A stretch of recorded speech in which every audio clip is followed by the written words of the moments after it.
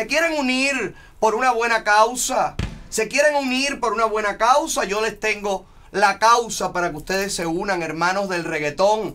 Háganlo por nuestros hermanos cubanos que están detenidos en Tapachula, lo que le están violando todos sus derechos humanos. Y para unirte a esto no vas a tener que esperar seis meses ni un año. Mañana, frente al Consulado General de la República Mexicana en Miami, nos vamos a reunir todos los cubanos que querramos pedir por el, respeto a los derechos humanos. Señoras y señores, no es solamente reclamar derechos humanos en Cuba, no, vamos a reclamarlo por los derechos humanos de todos los cubanos, estemos donde estemos. Basta ya que los cubanos arriesgan su vida cruzando frontera con tal de llegar a Estados Unidos, que repetimos, no es el momento de hacerlo. Hoy vi a Ernesto Morales en Cibercuba haciendo un llamado también a la comunidad cubana que por favor le digan a sus familiares que no expongan a su gente querida a estas travesías, que no los expongan a llegar a una frontera después de cruzar por meses para que no les den un documento, para que no los dejen entrar, para que no los deporten,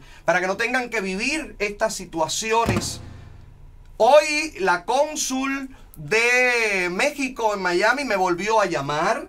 El correo que dimos aquí ayer fue bloqueado, señoras y señores. Recibieron tantos emails, recibieron tantos correos, recibieron tantas peticiones por parte de todos ustedes que a la mujer se le frizó la computadora, se le frizó el correo.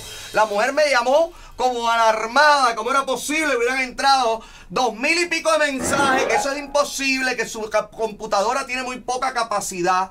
Yo le dije, bueno, el gobierno de México también tiene muy poca capacidad de reacción. Me parece que es hora de que ustedes den una respuesta. Y me dijo que ella se había tramitado todo, que habían enviado todas las pruebas, todos los videos, todo lo que le enviamos junto con las peticiones a la capital, al DF y que estaban esperando respuesta de las autoridades migratorias, pero que esas respuestas no iban a llegar ni hoy ni mañana. Por lo tanto, yo le dejé saber que la protesta iba a ser, se iba a llevar a cabo y la vamos a hacer, señores, mañana frente al consulado mexicano de Miami. Horario de lunch entre las 12 del día y la 1 de la tarde. En el Brickell, ahí está la dirección. Acércame la dirección para que la gente lo vea bien. Por favor, está en Brickell la embajada, el consulado mexicano. 1399 Southwest, primera, primera avenida en Miami. 33130. Lo puede buscar en Google y también puede venir por, con el GPS. Venga, hágase sentir, apóyenos en esta lucha, señores. No es exigir para que les den los papeles, porque nadie tiene derecho a exigirle a ningún gobierno lo que tiene que hacer con los inmigrantes, y más en un momento como este, que Trump está también presionando a México para que no permita que llegue eh, las caravanas, estas evidentemente preparadas de toda Sudamérica a, a la frontera estadounidense, porque se considera una invasión. Hoy en el Panhandle de la Florida, en Tallahassee, mientras Trump hacía un discurso de campaña para el año que viene, pues eh, la gente empezó a aplaudir y a gritarle que a una pregunta Trump hace, ¿cómo vamos a detener a todos estos inmigrantes? Y la gente del público empezó a decir que les disparen, que les disparen. Trump no llamó a la violencia, la culpa de esto no la tuvo Trump. Trump habló incluso de que no se puede usar las armas para esto, pero el público enardecido y siguiendo a su, a su líder, empezó a gritar que le disparen, que le disparen. Y Trump lo que hizo fue sonreír y decir solo en el panhandle de la Florida, o sea, en la parte norte de la Florida, se puede escuchar algo así. Realmente, la situación para los inmigrantes es complicado, vengan de donde vengan. Pero lo que no se puede permitir es que estén presos los hombres con los niños en unas condiciones donde no tienen atención médica, donde no tienen comida, donde no hay higiene, donde no tienen agua potable, donde pasan frío, calor, los pican los insectos. Es horrible lo que están pasando esta gente, una tortura psicológica. Hay un testimonio de un padre que habla desde una celda, ponlo más o menos desde el medio, Sandy, para, para ver eh, llegar al punto de lo que el hombre está pidiendo. Miren la situación en la que están estas personas.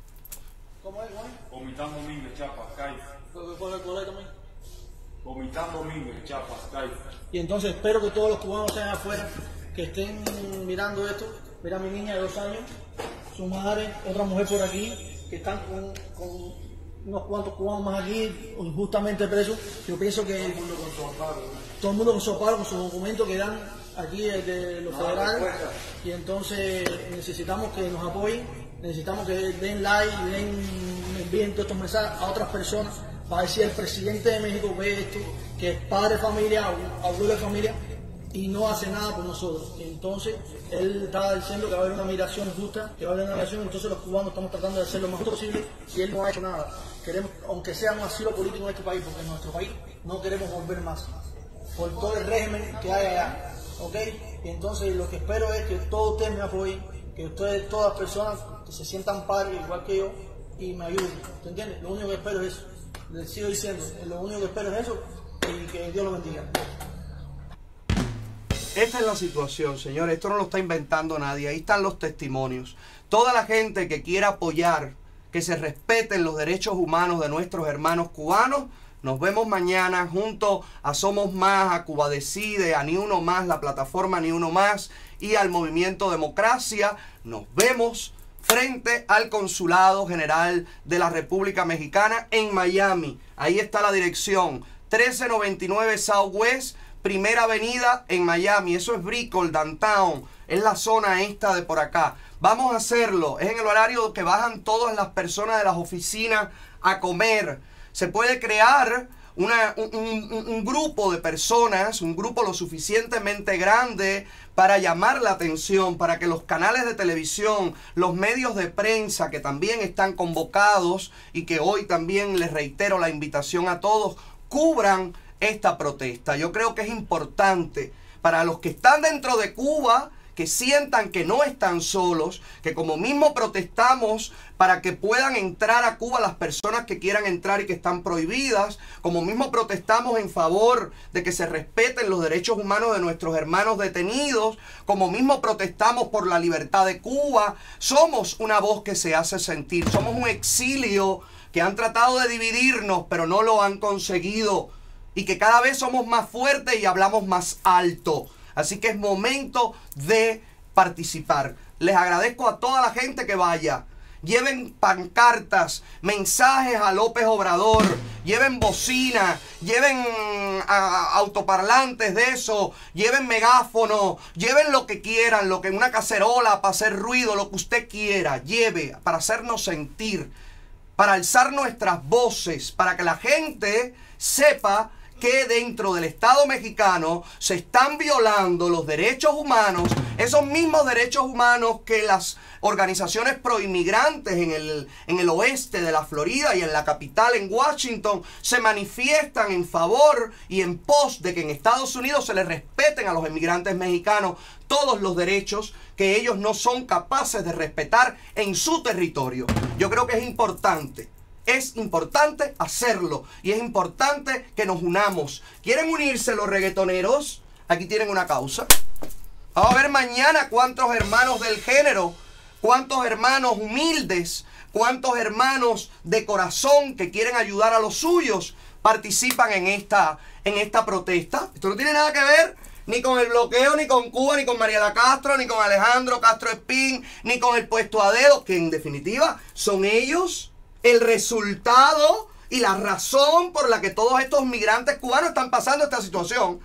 Porque si en Cuba no existiera el comunismo, si en Cuba no existiera el hambre, la miseria y la necesidad que ha traído ese sistema precario, caduco y, y miserable, la gente no tendría que escapar, la gente no tendría que huir. Entonces, vamos a protestar, vamos a alzar la voz y vamos a exigirle al gobierno de México que se respeten los derechos humanos de todos los cubanos y que esto sirva para todos los gobiernos del mundo. Los cubanos nos unimos por los nuestros y reclamamos que se nos respete. Es importante, señores, es el momento de que empiecen a respetarnos como pueblo. Es el momento. Y un granito hoy, un granito mañana, lo vamos a conseguir. Así que ya lo sabe, mañana, día 10 o día 11, ¿qué día es mañana? 10, mañana 10 12 del día, de 12 a 1, frente al Consulado General de la República de México en Miami. Ahí nos vemos, con toda la gente, con todas las plataformas, con toda la prensa y con toda la gente que quiera alzar su voz libre para exigir derechos humanos por los nuestros. Así que ahí tienen una razón para unirse. Vamos a ver si se unen. Ojalá se unan. ¿Creen ustedes que se unirán? Claro, sí. Sí, ábreme líneas. Ábreme líneas en lo que saludo a la gente para que usted me diga si usted cree que mañana veremos exponentes del género, artistas, gente humana que se sume a esta protesta pidiendo por nuestros hermanos cubanos detenidos en las cárceles o en los reclusorios o en los puntos migratorios de México. 305-423-9683. Marque, llame, comuníquese. Se revienta la centralita. Debe saludar a la gente. Dani SP.